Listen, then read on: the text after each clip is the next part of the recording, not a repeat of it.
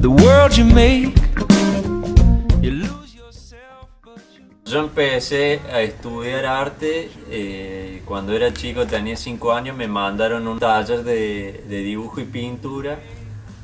Me hacían pintar flores, como que no me gustaba mucho.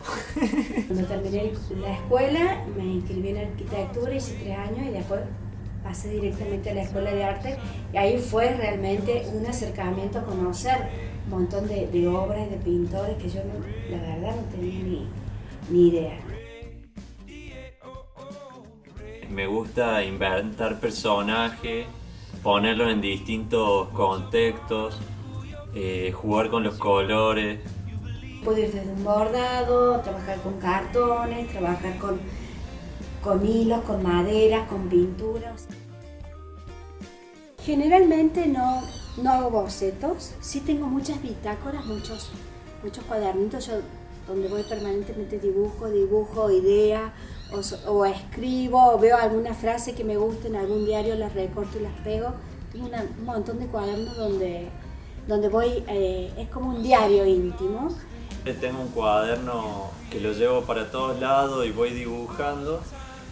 Y por ahí me surge alguna idea y lo dibujo ahí o dibujo lo que me sale y, y después cuando voy al bastidor o busco un fibro fácil, eh, es como que termino de, de arreglar la idea.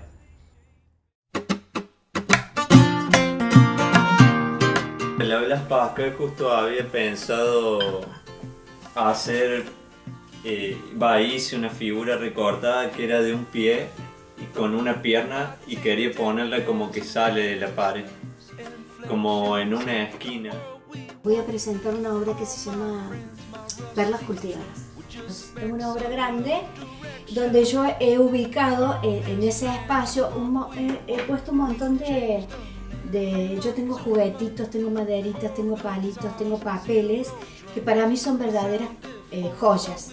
Por eso Claro. le llamo perlas cultivadas, que hace mucho tiempo que tenía guardadas y bueno, se dio la posibilidad de que pueda mostrarlas. Después